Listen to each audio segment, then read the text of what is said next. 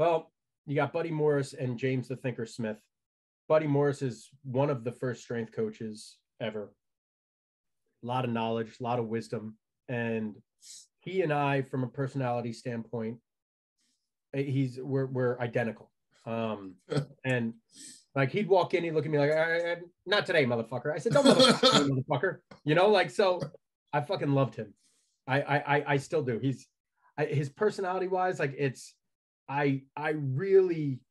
I mean, for two years, I cut the sleeves off all my fucking shirts. You know, like I really, I really got it. Like me and him, like it was, it was, and he also from like a knowledge standpoint. Like I, I, pretty much just said that I have a man crush on Buddy Morris on the podcast, so I might as well just outright say it. Um, but from a training standpoint too, it was always he was always learning. You know, he it was sitting at the computer, learning something when he figured out how to turn on the computer. So I it was it was great being in the environment with him and with James Smith. Oh, James is the thinker was just light years ahead of everyone. The way he thought, his ability to critically critically problem solve and just simplify everything it made it so and he's he's just so fucking smart and so knowledgeable the guy's just an encyclopedia i mean he he literally used to edit the encyclopedia of training like Verkhoshansky super training like he was one of the editors so i mean there's no one no one better than him in my opinion and he's not even in the industry so like to to be a part of that crew I and I I woke up at 5 a.m. I, I slept on this shitty air mattress in like a closet, and I, I woke up at 5 a.m. and sprinted over to the facility, as you know, as frequently as I could, and it, I I just and I didn't leave I didn't leave the facility sometimes until you know eight nine 10 o'clock at night whatever it was. Whenever we had sessions, I was there. I tried to be there as much as possible. I just I loved it. It was a learning environment, a coaching environment, a friend environment. I I just fucking loved it. Everything was great about it for me. I mean, you also, it- feels like you've been blessed by whatever higher power anybody believes in with some of the names and people you've been around with DeFranco Buddy, James the Thinker Smith, and you and Cam. Did you guys ever cross over, but you were just at the same place? Because we had Cam Josse on an episode earlier too, Yeah, so Cam was our intern. right? So I, like, I used to I used to train Cam. Cam started in high school with us, uh, and he was fucking yoked. Always, always fucking yoked. Uh, tremendous power, powerful athlete. Um, so he was not my first guinea pig per se, but he was one of the first guys. Because I mean, Joe and I have different philosophies, and that started from Pitt.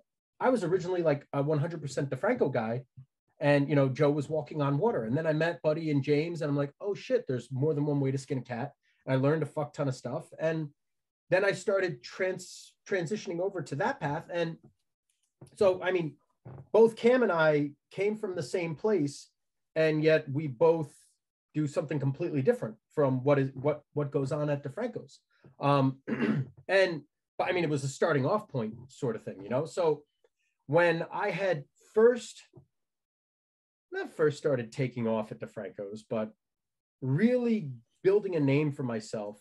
Uh, Cam was originally with Joe, and then he kind of transitioned over to me to do a lot of the working stuff, to do a lot of training, and we did a lot of top speed work. Uh, there was a year um, that Cam had like a a five, a low five squat, I think, or maybe a high four squat. I, I forget what it was, and we didn't squat above 315 all off season and we just did a ton of sprint work ton of uh, low intensity squats like or not a ton a handful of low intensity squats and his squat pr'd by like 50 pounds that year. And after that cam was like fuck there's there's more to this than what we were doing. And we and we didn't do a lot of speed work at defranco's originally. We didn't have the space. So i used to take guys to fields and stuff. So uh cam was like one of my one of my first uh gu- guinea pigs maybe? I don't know. But like I i had him i had him when he was i think a freshman or a sophomore in college and you know he's uh, he's he's he's now with aaron wellman right yeah, yeah. And you know Aaron, right? i love aaron so How did you know him? um the the one of the athletic trainers for the new york giants is steve kennelly steve kennelly's from oakland uh his son was Ryan Kennelly, who's now a physical therapist, uh, was a high school kid going into college, or maybe he was in college already, and he had some issues, some ankle issues, some hip issues, some whatever. And his dad had heard of me training people at DeFranco's because you know I had I had a handful of pro guys at that time, so I ended up training Steve Kennelly's son, and Steve and I got real close, and he ended up working at Freak Strength for a little bit, um, like part-time stuff because he's a full-time athletic trainer, but he he likes training people, so he he trained people out of Freak Strength. So when Wellman first came on, uh, he hit me up. He goes, "Yo, listen, there's this guy Aaron Wellman. He is sharp. Let me connect the dots. You're gonna love him." And sure as shit, I fucking loved it. Like I, I Wellman, Wellman's another dude I would I would take a pay cut to work for. You know, like wow. he, wow. Yeah, he's he's as sharp as it gets the the accountability that the standard that he holds people to. I mean, he's I, I really really like him, and he's I think in collegiate strength conditioning. I don't I I don't know that there's a better one, a, a better strength conditioning coach in college than Aaron Wellman. You know, you teed that up for me. What does constitute a good strength and conditioning coach, in your opinion? so, the accountability is huge right? Eh, eh, that's that's what strength coaches are known for in college strength conditioning. Like we're we're the you know get on the fucking line sort of guys, and I'm not that. Like that's that's never been my forte. I'm a players coach. That's why I, I get along very very well with pros, and with high school kids. It's they listen to me because they're afraid of me, but if they're not afraid of me, like they, they want to challenge a lot, and, and most of them respect me enough not to. But it's you need to have that type A mentality to be successful and to be good in to be a good fit in the college setting uh, from an administrative standpoint. They care about that. Yeah. Guys standing on lines, doing the stupid clap bullshit, whatever the fuck, like stuff like that matters to certain people that matter in whether or not you keep your job. Wellman does a fantastic job of that without being a hard Um, from a knowledge standpoint. He's working on his second PhD. What? My you know, God. He's he's an animal. He is the his thirst for knowledge is second to none. It's never enough. He's always learning, and he wanted he wanted to get a uh, a degree in Eastern medicine until I talked him out of it.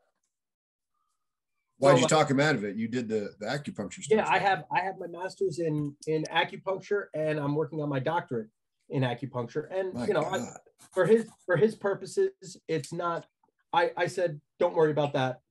Do some other shit because I could teach you I could teach you all you need to know about the acupuncture without you having to spend all the time, you know, in in the weeds with it because it's not as applicable. The, the depths in which he would have to go to get the degree and to get the knowledge, like I can give him in a in a more abbreviated time.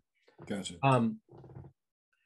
So like, a, and and on top of it, he's not afraid to try new stuff. Right, the guy's already an encyclopedia, knows everyone, knows a ton of shit, and yet he has his ego is non-existent enough to the point where he's not afraid to put what he knows to the side and challenge some of his own thoughts. Wow. Like he he and I had talked uh I think like last year or the year before. I'm I'm so bad with keeping up with people. And he had said that they were changing the running mechanics with guys and that it was increasing. Cam probably talked about the the the way that they were having guys run.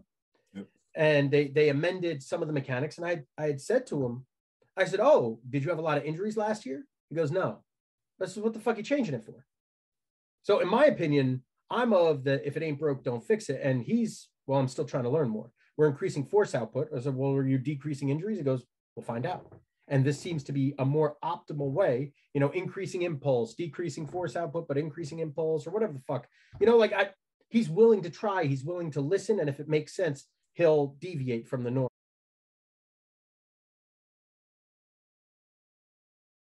Congratulations on making it to the end of the video. Why don't you celebrate by watching more videos just like it? You can also help us on our quest to placate the algorithm gods by liking, sharing, subscribing, and commenting. Thank you.